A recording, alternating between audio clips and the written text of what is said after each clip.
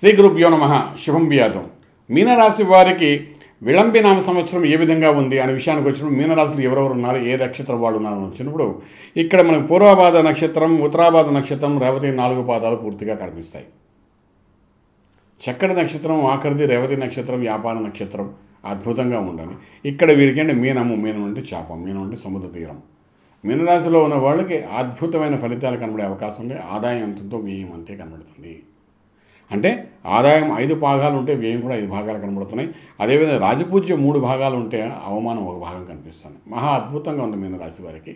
రాజ్యంలో శని కూర్చున్నాడు అదేవిధంగా పంచంలో రాహు కూర్చున్నాడు లాభంలో ఇక్కడ కేతు ఉన్నాడు అదేవిధంగా గురుడు చూస్తే అష్టమ స్థానంలో కూర్చుని ఉన్నాడు ఏదైనప్పటికీ మీనరాశిలో దోషం అనేది చాలా తక్కువ ఉంది. రాస్యాధిపతి గురుడై ఉన్నాడు కాబట్టి గురువు యొక్క కటాక్షం ఉంటుంది. ఆ తర్వాత గురువు ఎప్పుడైతే అక్టోబర్ తర్వాత తులారాశి నుండి వృశ్చిక రాశిలో ప్రవేశించాడో డైరెక్ట్గా మీనరాశిని తన సొంత ఇంటిని ఎప్పుడైతే చూసుకుంటాడో అప్పుడు రాజమార్గం రాజయోగం చూపిస్తాడు బ్రహ్మాండంగా.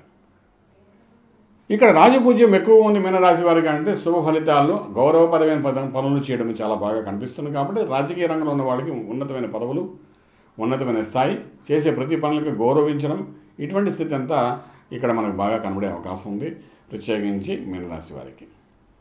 అదే కళారంగంలో ఉన్నత స్థాయి వెళ్ళాలని చేసే ప్రయత్నాలు వాళ్ళకి కొంతవరకు బలహీనపడినప్పటికీ రియల్ ఎస్టేట్ రంగంలో వాళ్ళకి మాత్రం ఖచ్చితమైన లాభాలతో ముందుకెళ్ళే అవకాశం బాగా కనబడుతుంది. స్టీలు సిమెంట్ ఐరన్ కన్స్ట్రక్షన్ భూమికి సంబంధించిన వ్యాపారాలు చేసేవారు విత్తనాలకు సంబంధించిన వ్యాపారం చేసేవారు ఫలితాలు బాగుంటాయి. అదేవిధంగా ఐటీ రంగంలో ఉన్న వాళ్ళు కూడా సత్ ఫలితాలు వచ్చే అవకాశం ఉంటుంది. పవర్ ప్లాంట్ సోలార్ సిస్టమ్స్ ఇటువంటి యాక్టివిటీస్ చేసేవారు ఎలక్ట్రికల్ ఎలక్ట్రానిక్ కాంట్రాక్ట్స్ వర్క్ చేసేవారు దాని మీద ప్రత్యేకమైన వ్యాపారాలు చేసేవారు. ఇన్వెస్ట్మెంట్ పవర్ బ్యాంక్స్ మీద చేసేవారు ట్రేడింగ్ చేసేవాళ్ళకి సత్ఫలితాలు వస్తూ రూపాయికి రూపాయి లాభదాయకంగా కనబడే అవకాశం కనబడుతుంది. అదేవిధంగా వ్యాపారమే కాకుండా వివాహ సంబంధమైన స్థితి గురించి ఆలోచించి ముందుకు తీసుకెళ్ళాలనుకున్న వాళ్ళకి అక్టోబర్ తర్వాత సత్ఫలితాలు కనబడే అవకాశం బాగా కనిపిస్తున్నాయి విదేశాలతో సంబంధాలు పెంచుకుంటూ విదేశాలలో వ్యాపారం చేయాలనుకున్న ఎక్స్పోర్ట్ ఇంపోర్ట్ వ్యాపారం చేసేవాడికి సత్ఫలితాలు కనబడే అవకాశం ఉంది. విదేశాలలో ఉన్న మీనరాశి వారికి ప్రత్యేకించి మనం ఎవరైతే ఉన్నారో వాళ్ళకి కూడా సత్ఫలితాలు కనబడే అవకాశం కనబడుతుంది. ఇక్కడ మనం ఆలోచించవలసిన విషయం ఒకటి ఏంటంటే ఇక్కడ బంగారము వెండి వ్యాపారం చేసి బట్టల వ్యాపారం చేసే వాళ్ళకి మాత్రం మీనరాశి వారికి కొంత బలహీనంగానే కనబడుతుంది. నష్టపోయే అవకాశం ఉంది కాబట్టి జాగ్రత్తగా ఆచితూచి వ్యవహరించడం అవసరం పడుతుంది. ఏదైనప్పటికీ ఈ రాశి వారు మళ్ళా సుబ్రహ్మణ్యేశ్వర స్వామి వారికి ఆరాధన చేయడం చాలా ప్రాశస్యం వహిస్తుంది.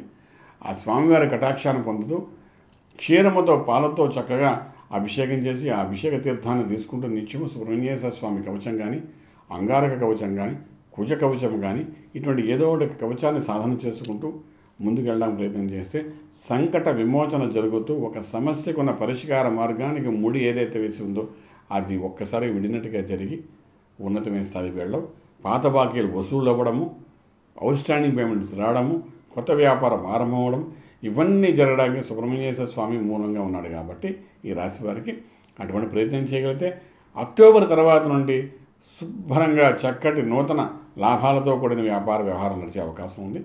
ఆ విధంగా ప్రయత్నించండి రాజమార్గంలో రాజ్యం పొందగలుగుతారు. శుభం బియాదు Please subscribe our YouTube channel M6 TV.